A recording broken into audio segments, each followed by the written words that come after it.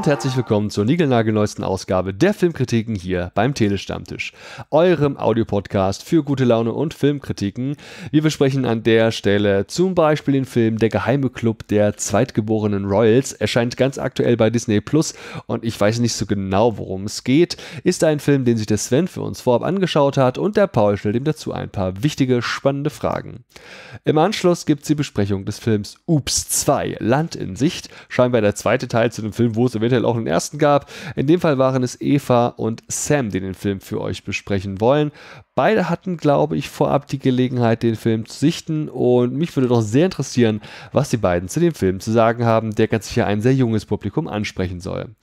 Zu guter Letzt, und das ist vielleicht gar nicht mal so schlecht, weil das jetzt hier schon ganz schön krasser Bruch zu einem Kinderfilm ist, geht es um einen Porno, beziehungsweise ja um einen Erotikfilm, wenn man Porno nicht sagen sollte. Es geht um den Film X Confessions Night und das ist, glaube ich, wirklich ein ins Kino kommender Erotikfilm, sehr explizit und tendenziell und tendenziell wohl auch für Frauen gemacht.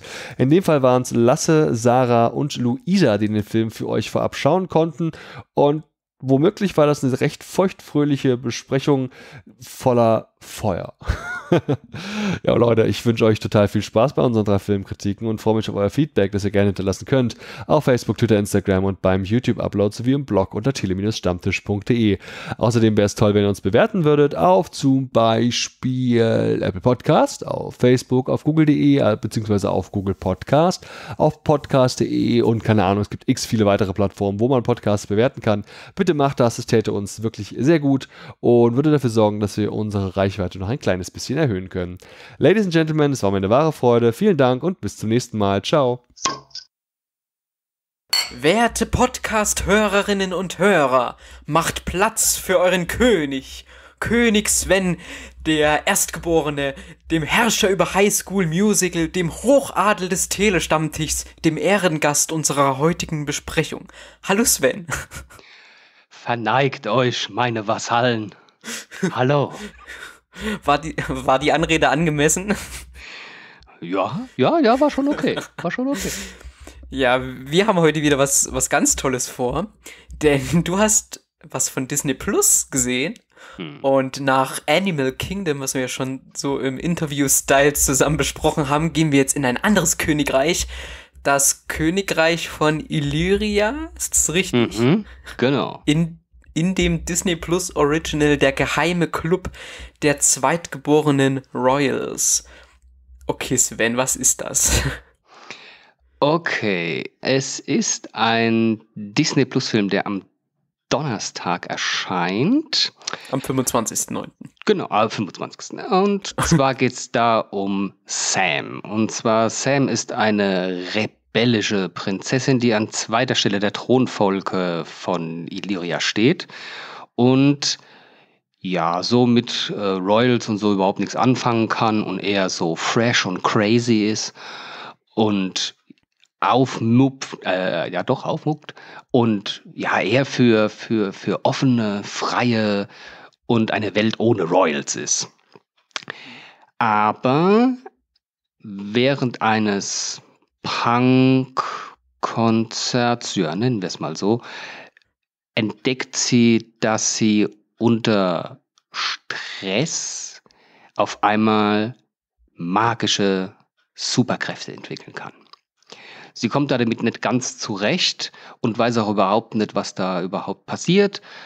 Aber aufgrund dieses äh, Stress, Auslösers gibt es natürlich auch ein Chaos auf dem Konzert. Sie verbringt mit ihrem besten Freund eine Nacht im Knast, wird dann von ihrer Mutter rausgeholt und direkt in die Sommerschule gesteckt, damit ihr nicht noch mehr Unsinn einfällt. Doch, Achtung, und jetzt halte ich fest, die Sommerschule ist eigentlich ein geheimes Trainingslager für zweitgeborene Royals, denn nur die haben ein Gen in sich, was Superkräfte entwickelt. Und jetzt kommst du.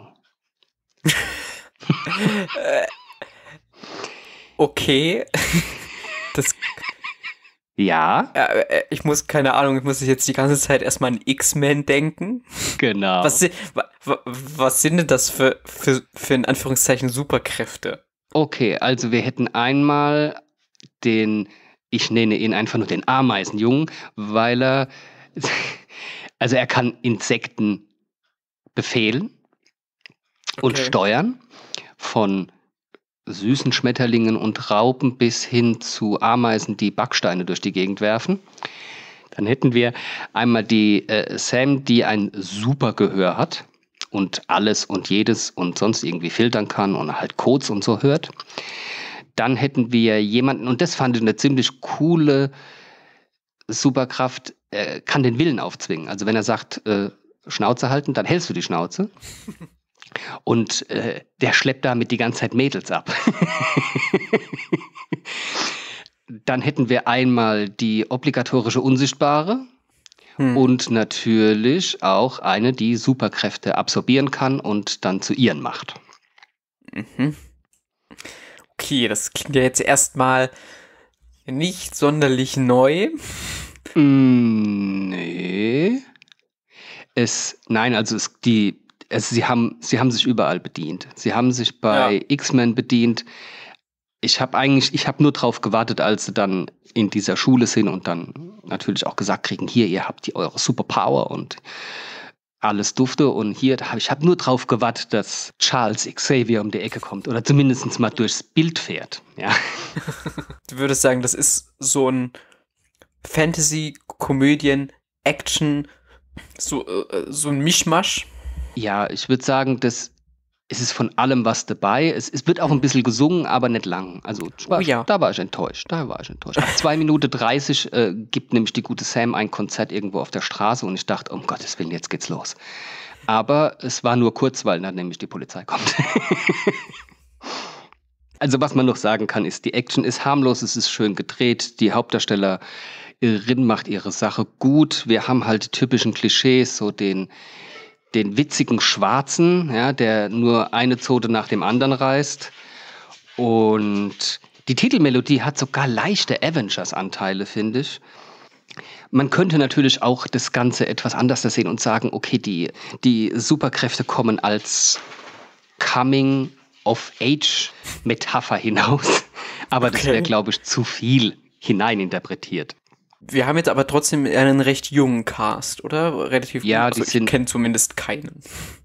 Hab also ich habe mal geguckt, die äh, Hauptdarstellerin, die Peyton Elizabeth Lee, die die Sam spielt, ist äh, so ein Disney-Ziehkind. Die hat okay. Story of Andy gemacht, sagt mir überhaupt nichts und ist halt auf Disney Plus aktiv den Charles Xavier Ersatz spielt Skylan Astin als Professor James Morrow. Den ah, ja, ich kennt man aus Pitch Perfect und aus Dr. House, da hat er mal mitgespielt. Aber ich muss sagen, der Rest sagt mir null und die Anna Mastro, die Regie gemacht hat, hat jetzt auch nichts gemacht, was man irgendwie kennt. Das dürfte auch so ein Disney-Ziehkind sein. Ja, wahrscheinlich. Sie scheint auch noch relativ neu zu machen. Sie hat noch keinen Wikipedia-Artikel. Hm. Na gut. Und also nun ist es ja ein Film, der vorrangig an ein jüngeres Publikum vielleicht gerichtet ist. Hättest du so ein Alter im, im Kopf, was das ja. in welche Richtung das eher geht? Ja, also für also Sechsjährige ist es zu viel. Mhm das ist eher so halt, ja, für die, für die Kids, die für X-Men und Kingsman zu alt sind, für Avengers zu crazy. Also nee, ich würde sagen ab 8. Ab 8 ist okay. Da kann man sich das ja. angucken. Und hat er dann auch noch so, so einen Humor, der vielleicht auf die Zielgruppe zugeschnitten ist? Es wird am Anfang viel mit Social Media gemacht und kann sein, dass da einige drüber lachen, wenn die eine des, des Teams, weil es bildet sich da ja auch ein Team. Ja, ja, ach die, was. Oh. Nee, ja, wirklich, wirklich. Ja, oh ja, ja, sie müssen sich erst finden. Also ja. Und die kriegt dann das Handy abgenommen, weil sie die ganze Zeit hier irgendwie Social Media Zeug macht und so. Äh, mag sein, dass sie drüber lachen. Ich habe nicht gelacht. Aber, Aber es war jetzt auch nichts zu sagen störend oder so. Also Nein, manchmal gibt es ja in solchen Momenten, wo du denkst, boah, das ist jetzt schon cringe, was da jetzt abläuft. Nee, nee, also sie haben, sie haben gut geklaut. Und ja, also es ist, es ist ein harmloser Spaß. Den kann man wirklich ab 8. Also es ist auch nicht gruselig, auch nicht brutal. Die Action ist, ist altersgerecht. Also ab 8 würde ich auf jeden Fall sagen, ist okay. Man hat sogar leichte Charakterentwicklungen, die es dann in diesem Fall ja immer gibt. Aber und, und, ja, ja, man muss noch, sie haben auch einen, einen Jet, ja, und jetzt, jetzt kommt der nächste Kracher. Dieses Hauptquartier ist unter der Sommerschule. Nee. Also wer sich sowas hat einfallen lassen, ist ein absoluter Kracher. Krass. Und sie haben einen eigenen Bro-Chuck, also äh, hier äh, Handschlag, Okay. der auch ziemlich lang geht und etwas komisch wirkt. Aber nee, ist okay. Also es ist nette, harmlose Unterhaltung für Kinder ab acht. Es könnte, also es sieht auch nach Sequel aus. Also das Ende ist offen und Das kann ich mir. Es klang auch äh, am Anfang, ich habe erst gedacht, als ich das gelesen habe, es klang wie so eine, wie, wie so eine Serie, die mal, keine Ahnung, auf, auf Super RTL laufen würde. So eine 20-minütige Sitcom, wo da gibt es doch jetzt auch ganz viele mit diesen, äh, ich kenne sie nicht, mit solchen Helden. Da war ich schon überrascht, dass es ein Film ist. Du sagst, es ist zumindest für die Zielgruppe gute Unterhaltung. Wir hatten ja, zuletzt auf Disney Plus ähm, Artemis Fowl. Ich weiß nicht, ob du dir ihn angeguckt hast. ich habe nur den Cast gehört, das hat mir schon gereicht. Und der war, also der ging ja auch schon in eine ähnliche Richtung. Der hat ja auch so versucht, eine Welt aufzubauen. Und der war auch so eher Action und eigentlich auch ganz harmlos so. Also schlägt er hier auch wieder in eine ähnliche Kerbe, vermutlich, um eine ähnliche Zielgruppe abzuholen. Ich denke schon, ja. Also, wie gesagt, also der Bösewicht ist zwar auch böse, aber verfolgt eine gute Idee, die er falsch umsetzt und ach ja, ja, das habe ich ganz vergessen. Ja, er hat leichte, ja, er, er kommt schon ein bisschen an Magneto ran. auch sein Gefängnis. Aber jetzt ist, jetzt ist, jetzt habe ich genug drauf geprügelt. Gibt's, gibt's denn auch sowas, was du sagen würdest, ja, das gibt dieser Film mit auf den Weg oder ist er wirklich rein zur Unterhaltung? Ja, aber gut, du kannst halt, ja, es sind halt unter, es sind halt wieder, wir haben halt unterschiedliche Charaktere, unterschiedliche Hautfarben, unterschiedliche Ansichten, die sich dann zu einem Team zusammenfinden müssen. N- Natürlich hast du halt die üblichen Botschaften. Niemals aufgeben, immer Ja. zusammen und ja, also es ist auch nichts Fragwürdiges diesmal dabei. Und ich habe auch kein großartiges Product Placement gefunden, obwohl ich da wirklich mittlerweile sehr viel drauf achte, gerade bei Disney. Aber sie haben sich sehr, sehr zurückgehalten. Gut, dann würde ich sagen, für eine Zielgruppe bestimmt sehenswert, zumal das im Disney Plus Abo dann ja drin ist, ab dem Mhm. 25. September. Genau. Und dann würde ich sagen, ach so, du kannst noch, äh, du, du vergibst mal noch, was vergibst du denn? Ähm, such dir aus, welche Punkte du vergeben möchtest. Super. Ich nehme, ich nehme Schmetterlinge. Ja, gebe ich 2,5. Hm, Okay, gut. Ja, da, das, das wird auch zur Tradition, dass wir Disney Plus Originals irgendwie 2,5 von 5 Punkten geben. Ja, es war nicht herausragend, es war Ja, ja. auch nicht schlecht. Ne? Das ist ja. halt so, die, die finden halt immer so einen Mittelweg. Wo man selbst als äh, älterer Herr schon sagen kann, ja, das kann man sich mal angucken. Also es gibt Schlimmeres. Hm, okay. Ob man für den Mittelweg jetzt unbedingt Disney Plus haben möchte oder sich das kaufen möchte, das sei mal dahingestellt. Aber ja, ich danke dir erstmal, dass du das angeguckt hast und dass wir jetzt drüber geredet haben. Und ich wünsche noch einen schönen Tag oder einen schönen Mittag, schöne gute Nacht und bis zum nächsten Mal. Gleichfalls. Bis denn. Tschüss. Hallo und herzlich willkommen zum Telestammtisch. Heute bin ich hier mit dem Sam und mein Name ist Eva. Wir besprechen heute Ups 2 Land in Sicht. Ich persönlich habe den ersten Teil nicht gesehen. Der zweite Teil dauert 81 Minuten und ist ab 0 Jahren und bereits jetzt Donnerstag, den 24. September, im Kino zu sehen. solange sie noch geöffnet sind. Sam, du hast die übrigen Fakten und die Inhaltsangabe. Ja, genau, das, das übernehme ich, kein Thema. Genau. Und zwar setzt der Film eigentlich genau nach dem ersten Teil an. Sprich, sie befinden sich auf der Eiche und leben halt zusammen mit Fleischfressern, Pflanzenfressern und haben ein harmonisches Leben. Der Koch Dave ist ein Nestria. Das war ein Nestria. Das ist eine Art Waschbär und, und Wasserwesen, was aber gleichzeitig auch ein Stinktier ist, weil sie pupsen durch den Rüssel. Also so, so ein, man könnte es fast sagen, ein Fabelwesen, aber sehr interessant dargestellt. Keine weiteren Fragen zu diesem Tier. Genau. Äh, ist ja so, das sind ganz komische Tiere, aber auch lustig. Dieser Koch, dieser Dave, wird gesprochen von Christian Ulmen. Der hat eine Co-Partnerin, eine Beiköchin, die heißt Kate. Das ist ein Krümp. Das kann man sich vorstellen wie ein Fuchs mit goldenen Streifen. Diese wird gesprochen von Katja Riemann. Und die stellen fest, dass die Nahrungs, wie sagt man, das Nahrungsangebot auf der Arche immer weniger wird. Neigt sich halt dem Ende zu, genau. Neigt sich dem Ende zu, genau. Aber eigentlich geht es in dem Film nicht um den Koch und der Kate, sondern eher um die Kinder von den Zweien. Und zwar den Finny, ist auch ein Estria. Und der wird gesprochen von Daniel Kirchberger. Und der Lea ist ebenfalls ein Krümp und die wird gesprochen von einer Maximiliane Hecke. Habe ich noch nie gehört. Weißt du, kennst du die vielleicht? Nee, habe ich nicht gehört.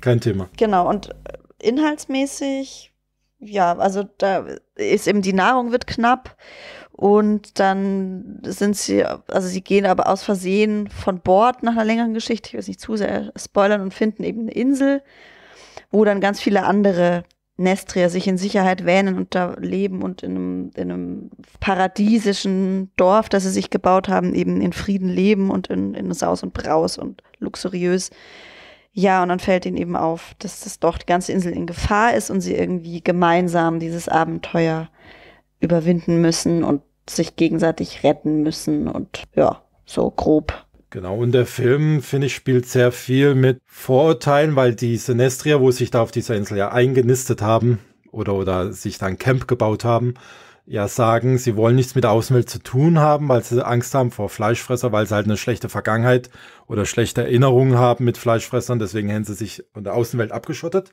Und da geht's halt ein bisschen mit Vorurteilen, würde ich fast sagen. Also so die kindliche Art beizubringen, dass man keine Vorurteile gegenüber anderen Wesen oder anderen Personen haben sollte, mhm. finde ich. Was ich auch so durchgesehen habe, so eine Klimawandel Warn ja, so ein Appell, also einfach, dass man das ernst nimmt, weil das ja dann auch mit diesem Vulkan und die Leit, die Leitung quasi da von diesen Nestriern, die in ihrem Paradies leben, die glaubt das eben nicht, dass der Vulkan ausbricht und meinte ja immer, selbst wenn der ausbricht, dann ihnen können sie ja nichts tun, sie haben es ja gut und sie können dann, ja, ihnen passiert da nichts in ihrem Paradies. Da darf halt keiner rein und keiner raus so ein bisschen fast schon Flüchtlingspolitik. Also mich haben da so ein paar, habe ich gedacht, ja, das ist so, das oft soll den Kindern eben so ein bisschen was zu diesen Themen vermitteln. Also ich hätte mir was Platteres vorgestellt, da war ich ganz positiv überrascht, dass es dann doch darum geht, ja, gemeinsam und dann eben, dass eben das dann doch nicht ignoriert werden kann, weil die Gefahr halt vor der Tür steht und dann muss man eben doch reagieren und zusammenarbeiten und ja.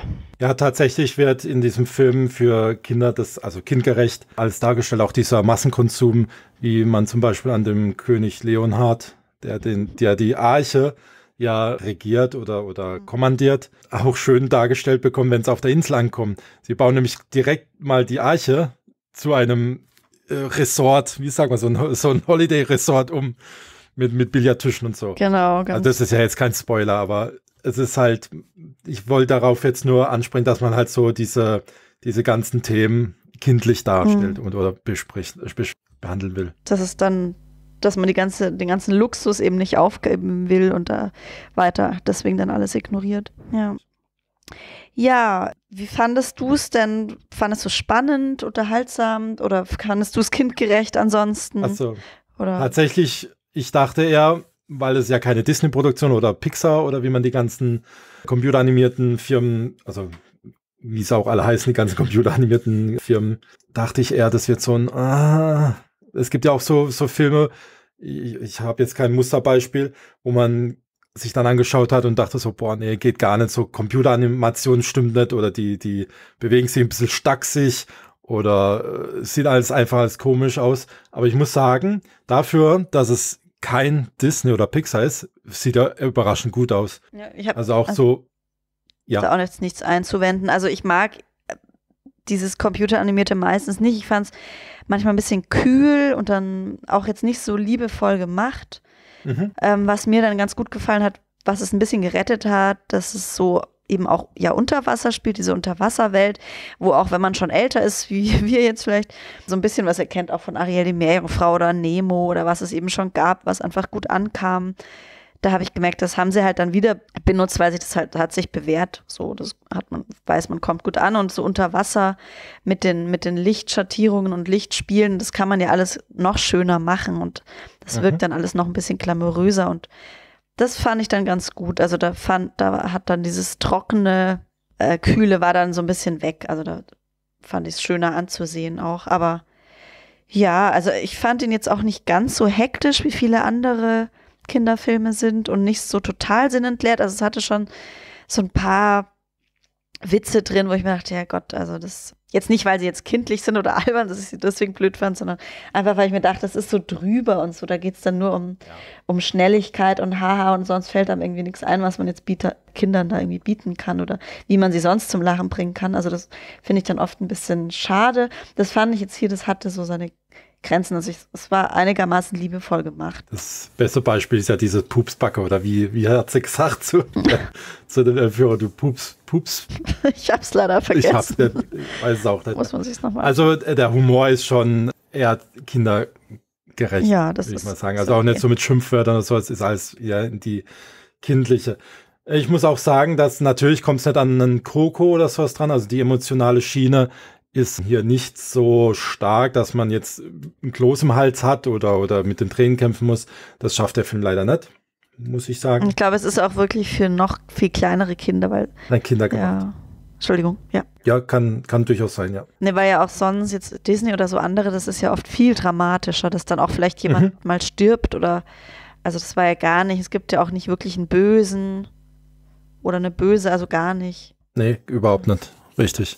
Ja, und, und die, die Figuren an sich sind auch, also sie, sie harmonieren miteinander, die zwei Freunde und die Jelly fand ich schön.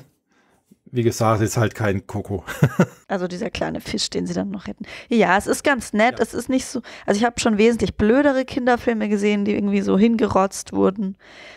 Und das jetzt war okay. Also es war jetzt natürlich kein Meisterwerk, aber auch jetzt nicht so, wo ich mir, wo ich denke, um Gottes Willen, reine Verblödung. Genau. Ich muss halt dazu sagen, dass ich den ersten Teil überhaupt nicht gesehen hatte. Ich auch nicht, ja.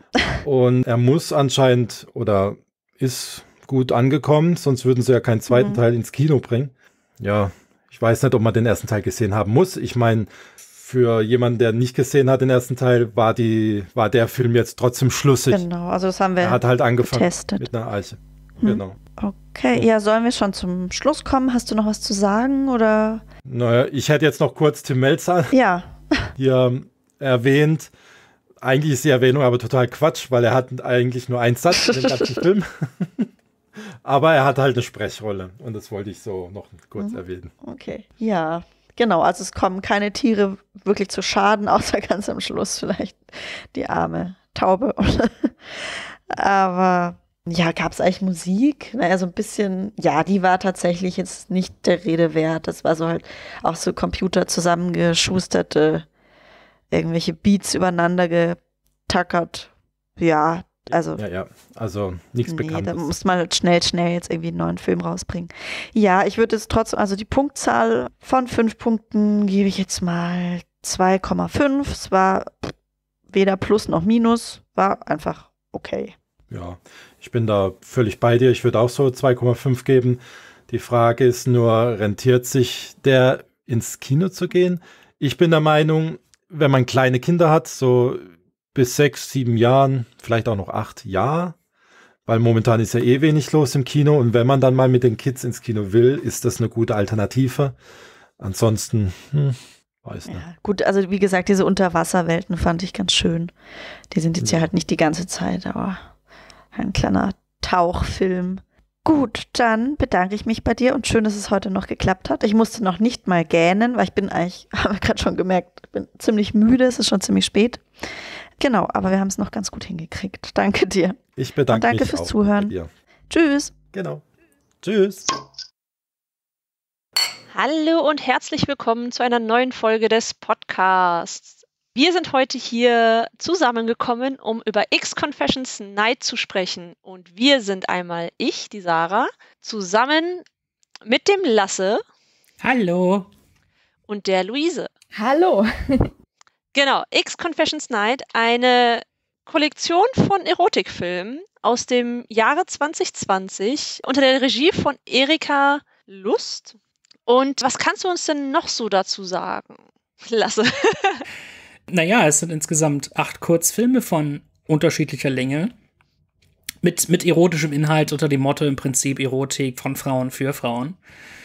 Und wir haben da Größen, die basieren auf Einsendungen von, von Fans im Prinzip, die da auf dem Forum so ihre, ihre sexuellen, erotischen Fantasien gepostet haben.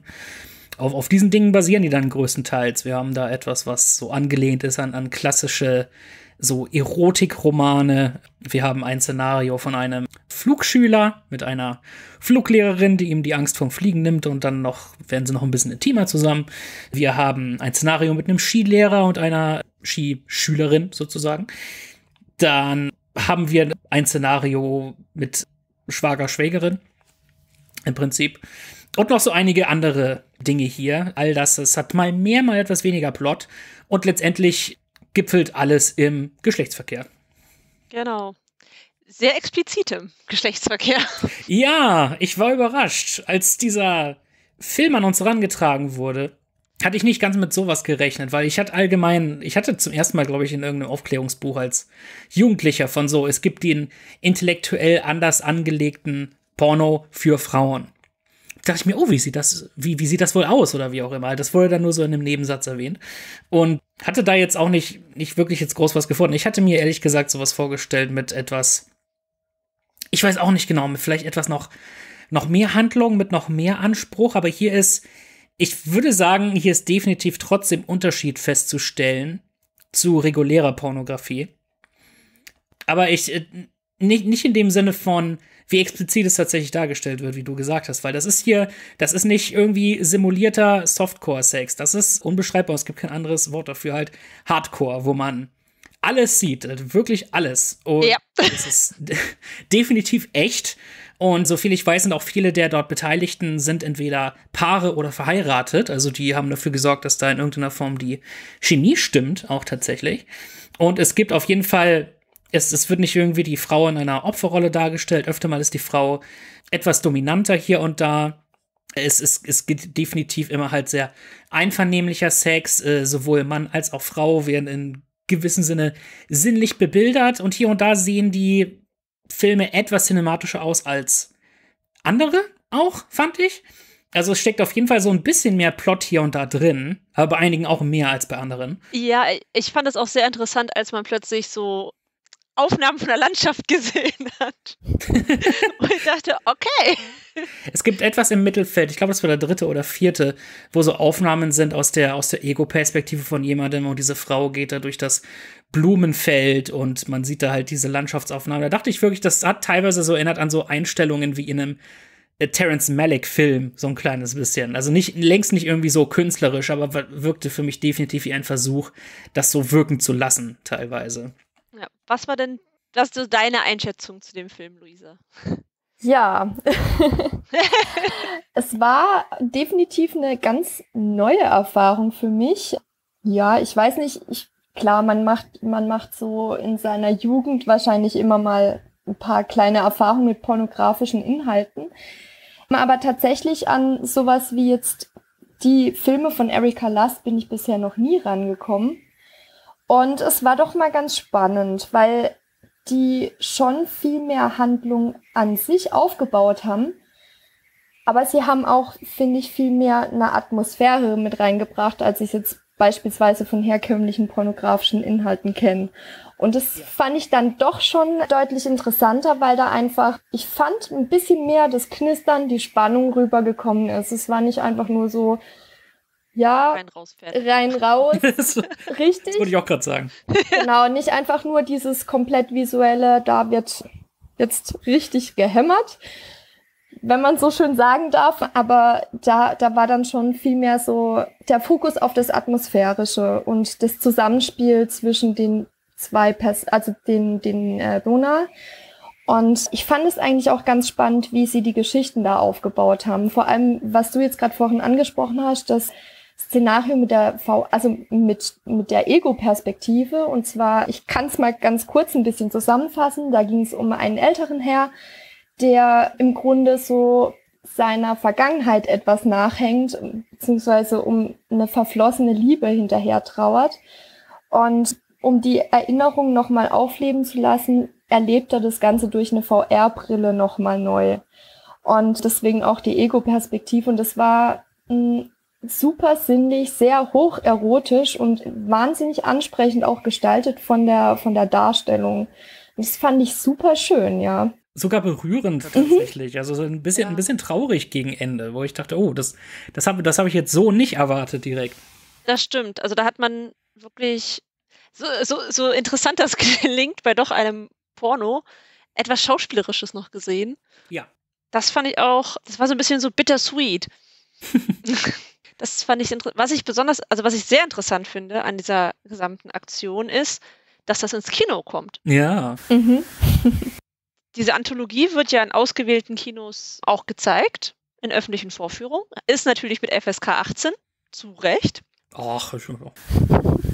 Genau. Was haltet ihr denn davon? Also ich muss zugeben, ich weiß nicht, ob ich ihn mir im Kino angucken würde. Ah, das ist das Ding, weil ich habe schon Erfahrung damit, einen, einen sehr, eine sehr spezielle Art von Porno mit einem Publikum auf der großen Leinwand zu sehen und das war Cats.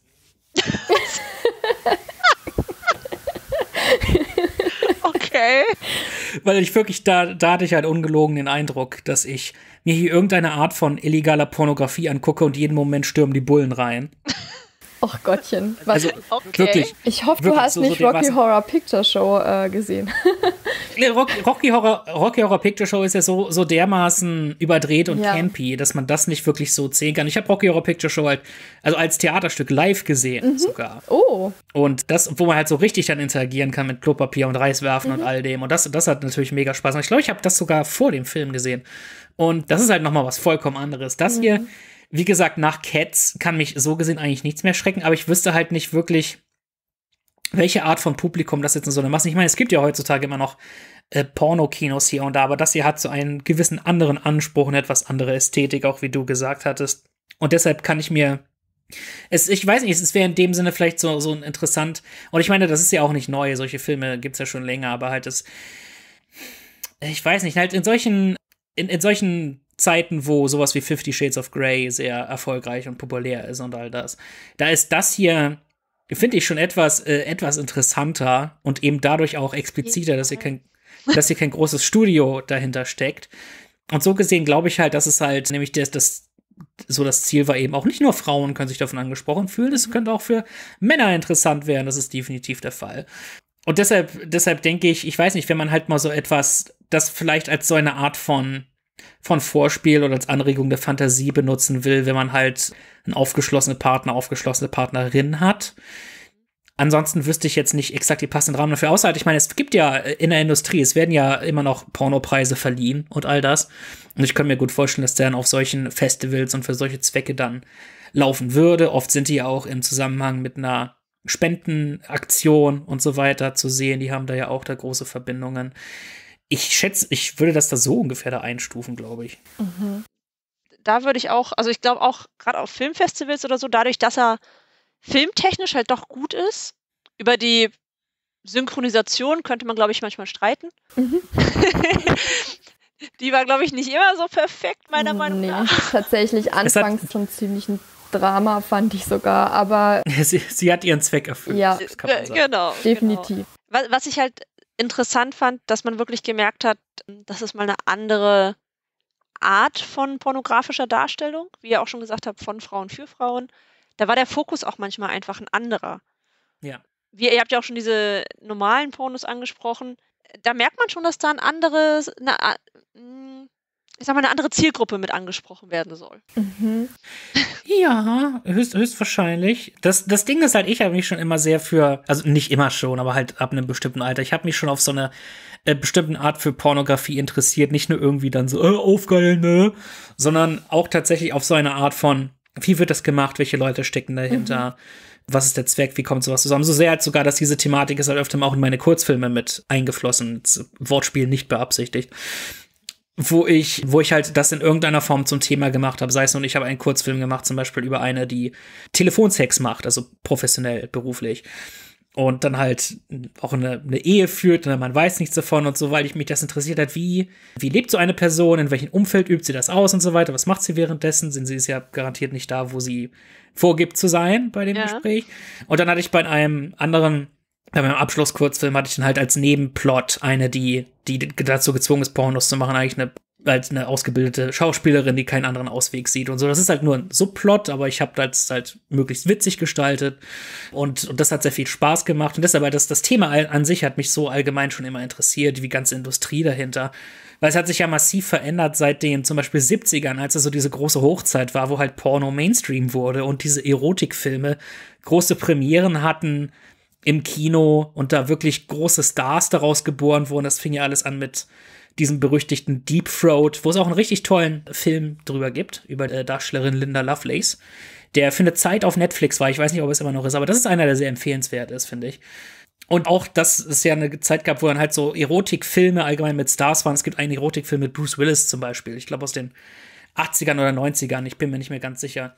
Hey, und ja, halt, all diese und, all, und all diese all diese Geschichten, die es gab. Und das kam so ein bisschen halt zurück mit Fifty Shades of Grey, aber halt da war es halt so dermaßen Mainstream, dass sie so extrem auf die Altersfreigabe achten mussten und wir wollen hier ganz viel Geld verdienen, wo ich halt fand, das ist der absolut falsche die falsche Herangehensweise, wo ich mir denke, wenn ihr das mit einem kleineren Studio gemacht hättet und wirklich dreckig und und nicht vielleicht nicht unbedingt zwingend richtig Hardcore, aber halt euch schon ein bisschen mehr getraut hättet, dann hätte das noch ein bisschen mehr Daseinsberechtigung.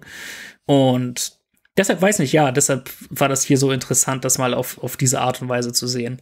Mhm. Ja. Also was ich ganz interessant fand, war, ich hatte irgendwie permanent das Gefühl, das ist mal eine sehr willkommene Abwechslung im Vergleich zu dem, was man sonst so angeboten bekommt. Das hat sich fast schon ein bisschen wie so eine Gegenbewegung angefühlt. Aber mhm. es war, es war unfassbar entspannend. Und ich muss ehrlich sagen, ja, nicht jetzt auf diese ist Weise. Ist das jetzt gut oder vielleicht, schlecht? Vielleicht auch, ja. ja, entspannend. Mag vielleicht auch auf vielen verschiedenen Ebenen entspannend gewesen sein. Nee, aber was mir aufgefallen ist, es war einfach nur, ähm, man konnte sich auch viel mehr drauf einlassen, hatte ich so den Eindruck. Einfach weil, ja, es, es hat mehrere Sinne angesprochen. Es hat jetzt nicht nur einfach das Visuelle angesprochen oder vielleicht irgendwelche Fetische, sondern wirklich einfach ja, man hat sich in die Handlungen alles mit reinziehen lassen können, weil das eben so atmosphärisch dargestellt wurde. Und das ist ein ganz krasser Gegensatz zu dem, was man heutzutage so sieht, habe ich so den Eindruck. Ich bin jetzt da nicht so wahnsinnig bewandert. Ich kenne nur die 0815 Szenen, aber so kam es mir zumindest vor. Ja, ich fand es auch sehr schön, dass der, dass sie gar nicht versucht haben, ich sag mal, einen Film draus zu machen. Mhm. Das Ganze geht ja, ich glaube, knapp eine Stunde 50 Minuten. Genau. Ja, fast zwei Stunden. Genau, also geht auch schon seine Zeit, aber dadurch, dass es immer wieder Kurzfilme sind, ist es nicht so, dass man sich denkt, okay, es geht immer noch weiter. Sondern es ist, mal, es ist ein Cut dazwischen. Also man merkt, finde ich, dass es mal einzelne Filme waren. Allein auch, weil diese, weil die Art, wie sie gefilmt werden, manchmal sehr unterschiedlich ist aber es wurde gut zusammen ausgesucht. Mhm. Es passt. Es ist Abwechslung drin. Aber ich glaube, die wurden auch schon so ausgesucht, dass sie, ich sag mal, Mainstream auch gefallen könnten. Mhm. Ja, ja, es ist ein gutes Pacing. Und halt je nachdem, wenn er, wenn so jemand denkt, oh, diese Rahmenhandlung ist mir irgendwie zu anspruchsvoll, zu künstlerisch, dann gehen sie halt auf den Boden der Tatsachen zurück mit den tatsächlichen sexuellen Handlungen mhm. oder wie auch immer. Genau. Also ich schätze mal selbst, selbst Leute, die diese, diese simple, ja, die, die, die dafür kommen wegen der rein visuellen Reize, was das angeht, die kommen dann eben auch auf ihre Kosten, was in, in, in der Hinsicht. Und Ah, ich bin mir nicht ganz sicher. Ach, wie, wie kann ich das jetzt sagen? Ich, ich glaube, dieser, dieser Telet-Stammtisch wird, glaube ich, eh FSK 18. ich weiß nicht, wenn man, ich meine, wenn man nur halt über die Erotikhandlung spricht und wir sprechen ja jetzt auch nicht explizit um irgendwelche Stellungen oder sowas, sondern dass ich meine, wir, wir reden einfach über das Thema an sich. Ich glaube nicht, dass wir da, wir, dass wir dafür X-rated sind, was da ja höhere Sachen angeht, ist das ja schon ein bisschen anders. Ich, na, ich, ich bin halt, ich, ich bin halt nicht vollkommen sicher, in, inwiefern man das jetzt irgendwie mit, mit vielen Leuten angucken würde oder was jetzt genau der Anspruch wäre, abgesehen davon, dass es eben dieses coole Abwechslungsding ist. Also ich glaube nicht, dass das der Film ist, wenn man so eine größere Freundesgruppe hat und sich überlegt, was für einen Film gucken wir heute Abend. der wird es, glaube ich, eher nicht. Oder es wird ziemlich still zwischendurch. wenn man merkt, was, was, was das für ein Film ist. Ich, ich muss dann dieses an dieses Meme denken mit Bernd das Brot, wo dann irgendwie da stand halt, ich gucke mit meinen Eltern einen Film und eine Sexszene kommt und dann steht drunter, ah, Raufasertapete. ja. Wobei ich muss, ja, also, ich muss sagen, ich kann mir vorstellen, dass es für, also ich meine, es gibt ja durchaus auf, äh, aufgeschlossene Pärchen oder Gruppen, die sich sexuell miteinander ausleben. Ich denke, für solche Personen kann das durchaus sehr, sehr reizvoll sein. Auf jeden Fall. Oh ja, ja, absolut. Was ich, was ich halt noch, noch fragen wollte, ist, da, also zwei Fragen hätte ich da einmal, weil ihr ja eben die, so gesehen ja, ja die Zielgruppe seid, also noch ein bisschen mehr als ich in dem Sinne, die richtig angesprochene Zielgruppe, obwohl es ja Leute wie mich auch einschließt. Wie fand, fandet ihr das? Ich meine, ihr habt ja schon darüber geredet, es war irgendwie sinnlich, es, es war erotisch, also es hat euch schon auf diese Art tatsächlich angesprochen und ihr fandet da das nicht irgendwie eklig oder anstößig oder so? Nee, also anstößig nicht. Was ich besonders positiv hervorheben möchte, einfach weil ich auch Freunde habe, die das betrifft, da kommt halt auch queerer Sex vor. Oh ja. Oh ja. Äh, also queer Sex kommt auch vor und das fand ich war, äh, ist jetzt nicht persönlich mein Ding, aber ich fand das super. Einfach das nur, weil es ja. da war. Oh ja, es war auch einer der künstlerisch anspruchsvolleren mit so ein bisschen, dass das war sowas, das, das war so mit Monolog, das war in Schwarz-Weiß und das war interessant fotografiert in der Art und Weise, wie sie sich dann verkleiden, sozusagen. Mhm. Ja, und, und, und umziehen und all das. Und das, das, das war definitiv halt einer der, der visuell interessantesten. Ja, ja, da hatte auch so ein bisschen den 20s, 30s Glam ja. mit drin. Oh, total. Oh, ja. Mit der Wunderbar. Musik. Ja. Mhm. Und ich fand es einfach toll, dass es aber nicht als irgendwas komplett Komisches dargestellt wurde. Also man kann ja auch, ich sag mal, gerade wenn man so Queer Sex hat, das kann halt auch rüberkommen als, oh, guck mal, das Komische da hinten. Sondern es war einfach, in der, es war einfach eingereiht. Ja. Mhm. Es war wie der davor und der danach. Und ich glaube, danach kam ja keiner mehr, aber wie die anderen Filme, einfach in einer Reihe weg. Das, das fand ich persönlich einfach toll. Und ich weiß, dass ich deswegen wahrscheinlich auch ein, zwei Freunde haben werde, die mir später noch schreiben werden, Hast du schon davon gehört? das geht ja dann immer schnell rum in der Community. Ja, nee, das hat so ja sehr natürlich gewirkt tatsächlich. Also fand ich. So, ja. ja, im Vergleich zu dem, was man sonst so über solche Filme hört oder sieht auch. Oder welche Diskussions auf der Ebene gibt, fand ich, hat man den angeguckt und es war jetzt nichts, wo man so irgendwie gedacht hätte, Mensch, das wirkt seltsam Nee, man, also man konnte sich super gut drauf einlassen, weil die halt eben wunderbar damit gespielt hat, haben und auch diese Verbindung zwischen den beiden hat man irgendwie, die, die war viel mehr hervorgehoben und dadurch war das, glaube ich, auch gar nicht mehr so schwer, sich drauf einzulassen. Ja, das, da hatte ich tatsächlich dann doch noch viel mehr von gesehen, irgendwie mit mehr Handlung und all dem. Weil ich hatte dann, im Anschluss hatte ich mal nach, nach Erika Lust dann noch so ein bisschen gesucht in dem Sinne und habe dann auch auf verschiedenen Seiten dann noch ein paar Sachen gefunden, die, die sie da gemacht hat. Unter anderem halt etwas, wo es halt um eine lesbische Beziehung geht und wo es, was noch sehr viel anspruchsvoller gefilmt, also wo es richtig professionell gefilmt mhm. ist, also mit, mit ein bisschen mehr Plot, mit sehr viel mehr Schauspiel auch wirklich noch. Obwohl ihr halt auch, wie gesagt, jetzt Synchro beiseite gelassen. Ich fand, die hatten ja alle eine, eine gute Chemie miteinander und haben das alles entsprechend schön gemacht, immer im Rahmen des Geforderten. Man hat immer was, was Gutes gespürt bei. Aber ja, also es, es gibt da definitiv noch Sachen, wo ich dachte, das ist sogar noch sehr viel cinematischer als einiges, was dann hier zu sehen war. Ja. Mhm. Wo ich nämlich dann noch eine Frage stellen würde, welcher habt ihr einen Favoriten von diesem Film? Weil dann würde ich natürlich auch meinen nennen. Geheimnisse werden ausgetauscht. ja, ganz interessant fand ich tatsächlich den mit der VR-Brille. Und was ich super spannend fand nach, nach Genderbender war Inks in My Book. Ja, also ich kann sogar den Titel. nee, der hat, der hat tatsächlich ziemlich Eindruck hinterlassen, weil interessant fand ich, dass er da teilweise, also er hat sehr stark mit Fantas verschiedenen Fantasien gespielt, aber gleichzeitig auch noch durch ein paar verschiedene Stilmittel, ich nehme das mal nicht, äh, nicht vorweg, auch so ein bisschen noch andere Fetische mit eingebunden, die so ein bisschen sogar Richtung Hentai und Co. gehen. Und mhm. Das, also es war nie so explizit, aber es war immer so, so, so ein bisschen so, das Anspielung, ne? Anspielen ne? und das, das ganz leichte Anreißen und das fand ich, hatte wirklich einen sehr schönen Reiz. Und ja. Total. Das, ich fand das fand ich auch super. in dem Sinne interessant. Ja. Auch, auch interessant, weil, weil der Darsteller dort in Ink in My Book, der hatte deutsche Tattoos. Ja, ist mir ah. Was ich sehr interessant fand, wo ich dachte, oh, das muss dann wohl das, ich schätze mal, das ist dann vielleicht ein deutscher Darsteller. Ich bin mir nicht hundertprozentig sicher. Mhm. Ja, könnte. Aber der, der seid so vom Typ aus, also der könnte halt sehr gut einen Wikinger spielen, hatte ich halt auch den Eindruck, was ich. Absolut. Ja, ich fand, ja, ja mit, mit den Haaren und Bart und so ja. weiter. Da hatte so dieses, diesen, diesen nordischen Skandinavien-Look irgendwie, wo ich dachte, oh, ist der Norweger oder, oder Schwede oder wie auch immer. Aber scheint ist er Deutscher. Also sonst, warum sollte man sonst irgendwie deutsche ja. Tattoos haben? Ja, na gut. Wobei es gibt ja auch Europäer, die haben dann asiatische Tattoos. Ja, ja, aber da muss ich. Äh, fair. Ja, da muss ich aber auch sagen, was ich gerade da an dem Darsteller unfassbar interessant fand. Ich fand, er hat super gut da reingepasst. Eben durch diese leichten Anspielungen, die da noch mit eingeflossen sind. Er hat nämlich ganz interessante Tattoos, passt es einfach unfassbar gut. Und er hat dann in manchen Szenen total was Animalisches, wodurch das alles Zusammenspiel nochmal viel stärker wirkt. Und also ich kann mir ja. vorstellen, dass sie den sehr genau ausgesucht haben, beziehungsweise das Pärchen, falls es ein Pärchen sein sollte. Das, das passt da wunderbar in die ganze Szenerie mit rein. Ja. Ja, das ist einer der, der anspruchsvolleren Sachen, was, was das angeht.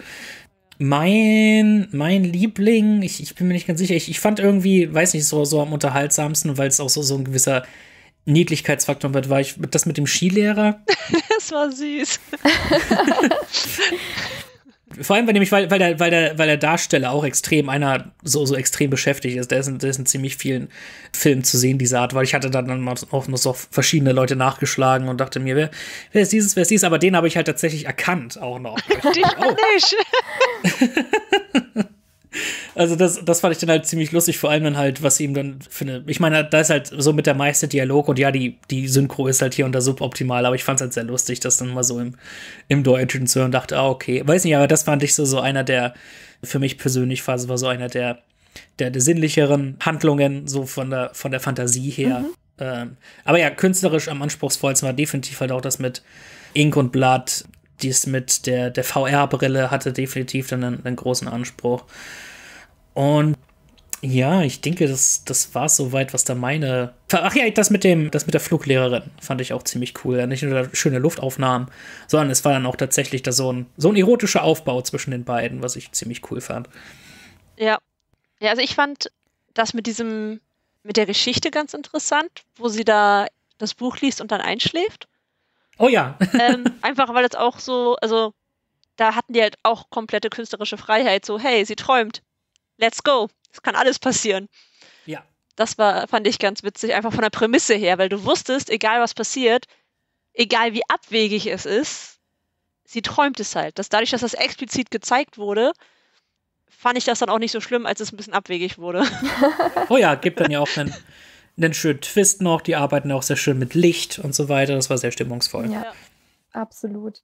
Was ich auch ganz interessant fand, generell an allen Geschichten, die bedienen immer so ein bisschen so diese Klischee-Handlungen, aber nicht so übertrieben. Also es wirkt überhaupt nicht extrem absurd. Und das finde ich auch tatsächlich sehr, sehr schön. Ja, die machen da so einen eigenen Spin mit, wo man halt denkt, okay, diese Art von Fantasie kenne ich und so, aber dann kommt da immer noch so was Gewisses dazu, wo man sich denkt, oh, so genau, so habe ich das eigentlich dann direkt noch nicht gesehen. Also ich weiß nicht, ich meine, es gibt Leute, die gucken sowas, was weiß ich, vielleicht tagtäglich oder, oder keine Ahnung. Ich meine, es gibt ja zigtausend Dutzende, sei es ein Amateur oder professionell, und jeden Tag kommen da mehr. Das ist ja total crazy. Aber das hier ist ja, wie gesagt, mit, mit Gegenbewegung, Gegenpol, wie auch immer, ist das hier schon definitiv was anderes. Kann man hier wirklich eine, das Ding ist halt, kann man hier jetzt wirklich eine Punktebewertung geben, frage ich mich. Ich hätte jetzt, ich hätte jetzt, ich hätte jetzt gesagt nein. Weil ich glaube, das ist wirklich, ich meine, das ist ja ein, eh ein subjektives Thema. Ja. Ich glaube auch, also da kannst du jetzt vielleicht höchstens sagen, ist das irgendwie technisch gut gemacht oder nicht, weil Story gibt es halt nicht viel, muss man mhm. jetzt dazu sagen. Also auch auf zwei Stunden kann man diese Story in einer kurzen Zusammenfassung halten, wenn man möchte. ja, ja, total. Schauspielerische Leistung, kann man darüber diskutieren, ob man die bewerten muss. ja, genau. Wie gesagt, im Rahmen des Geforderten jeweils war das alles, genau. war das alles gut. Man hat ihnen abgekauft, dass sie Sex hatten und es mochten. genau. Deswegen, ja, ich weiß gar nicht, so eine richtige Bewertung kann man da, glaube ich, schlecht machen. Ich würde eher fragen, würdet ihr den weiterempfehlen? Für die, für die geneigten Zuschauer, ja. Also es ist für ein ganz bestimmtes Publikum und vielleicht so für, für Leute, die das vielleicht dann so mal ausprobieren wollen. Aber das Ding ist halt, es erfüllt mehrere Zwecke. Sei es jetzt nun halt für, dadurch, dass wir hier jetzt tatsächlich eben auch ja Frauen haben, die das mit besprechen und da ihre Meinung dazu sagen können, sehen wir, es erfüllt den Zweck für die, für die intendierte Zielgruppe. Es, es erfüllt aber eben auch den Zweck, dass es dann tatsächlich erotisch ist, dass man sexuelle Handlungen äh, gut ausgeleuchtet, gut dargestellt sieht. Auf eine, auf eine Form, die dann halt eben auch ansprechend und erregend ist. Also dann halt selbst Leute, die irgendwie nach einem einfach nach einem Porno suchen, weil sie, weil sie dann äh, so etwas gerne sehen und entsprechend sich ja Befriedigung verschaffen wollen, jetzt gerade rausgesagt, da funktioniert das eben auch, würde ich sagen. okay.